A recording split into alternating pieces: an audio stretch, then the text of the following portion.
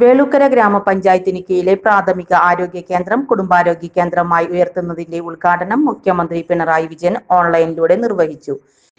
അഭിമാനവും സന്തോഷവും പകരുന്ന ഒരു ചടങ്ങിലാണ് നാം എല്ലാവരും പങ്കെടുത്തുകൊണ്ടിരിക്കുന്നത്. ഇവിടെ പ്രസ്താവിച്ചതുപോലെ എഴുപത്തഞ്ച് പ്രാഥമിക ആരോഗ്യ കേന്ദ്രങ്ങളെ കുടുംബാരോഗ്യ കേന്ദ്രങ്ങളാക്കി മാറ്റുകയാണ്. ഇത് യഥാർത്ഥത്തിൽ വലിയ മാറ്റം ഓരോ പ്രദേശത്തും ഉണ്ടാക്കുന്ന കാര്യമാണ്. കോവിഡ് പ്രതിരോധ പ്രവർത്തനങ്ങൾക്കും മറ്റ് ചികിത്സാ സംവിധാനങ്ങളുടെ കാര്യത്തിൽ കുടുംബാരോഗ്യ കേന്ദ്രങ്ങൾ വിപുലമായ സൗകര്യങ്ങളാണ് ഒരുക്കിയിട്ടുള്ളത് ഓരോ പ്രദേശത്തും ദിവസം മുഴുവൻ മെച്ചപ്പെട്ട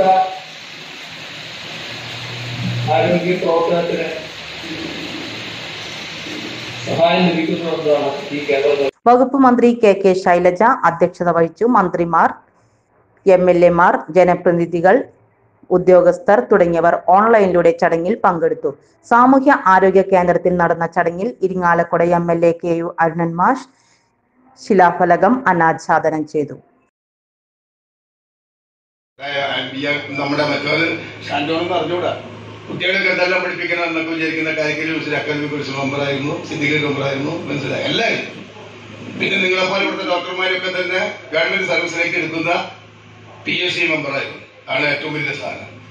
അതെന്താ വെച്ചാൽ അപ്പോ ഈ വക സ്ഥാപനങ്ങളിലുള്ള ആൾക്കാരൊക്കെ പ്രൈവറ്റിലുള്ളതിനേക്കാൾ നൂറിരട്ടി മിടുക്കന്മാരാണ്. അല്ലേ വരട്ടെ എന്താ കാരണം ഒരു പരീക്ഷ നിങ്ങളുടെ പരീക്ഷയല്ല ക്വാളിഫിക്കേഷൻ അല്ല അത് കഴിഞ്ഞിട്ട് പി എസ് സി പ്രിപ്പയർ ചെയ്ത് ഒരു പരീക്ഷ എഴുതി അതിൽ നിന്ന് മാർക്കുള്ളവരെ മാത്രം കുറച്ച് പേരെടുത്ത് എല്ലാവർക്കും ഒരു ലക്ഷം പേര് വേണ്ടി പരീക്ഷ. ആകെ അഞ്ച്. എത്ര സ്ട്രോക്കിന് കഴിഞ്ഞിട്ട്? അത് കഴിഞ്ഞിട്ട് ആകെ കുറെ ഡോക്ടർമാരെ നാനൂറ്റി എഴുപത്തിരണ്ട് ഡോക്ടർമാരെ ഇന്റർവ്യൂ ചെയ്തിട്ടുള്ള കാര്യം സിദ്ധിച്ച ഒരു മനുഷ്യനായി അപ്പൊ ആ കൂട്ടത്തിൽ ഒരു പ്രൊഫസർ ഞാനായിരുന്നു എന്നുള്ളതുകൊണ്ട് Exam pass ആയാൽ മതി. ടി സി ബീന അപ്പോ അവർ നമ്മുടെ ഗൗരിയമ്മ ക്ലാസ് രണ്ടാം ക്ലാസ് അങ്ങനെ വേണ്ട. അവരുണ്ടായിരുന്നു അപ്പൊ ഞങ്ങളാണ് ഇന്റർവ്യൂ നടത്തിയത്. അന്ന് രസ. അപ്പൊ അതിലൊരു പ്രധാന പ്രശ്നം എന്ന് വെച്ചാൽ ഈ ഡോക്ടർമാരെ തെര- തെരഞ്ഞെടുക്കുമ്പോ ഒക്കെ എവിടെ പഠിച്ചിരുന്നത് block president K S Radhakrishnan ഗ്രാമപഞ്ചായത്ത് president Ujitha Suresh vice president K T Peter സ്ഥിരം സമിതി അധ്യക്ഷന്മാരായ ജയശ്രീ അനിൽകുമാർ ടി എസ് സുരേഷ് പഞ്ചായത്ത് അംഗം ഷാൻഡോ കുര്യൻ തുടങ്ങിയവർ ചടങ്ങിൽ പങ്കെടുത്തു.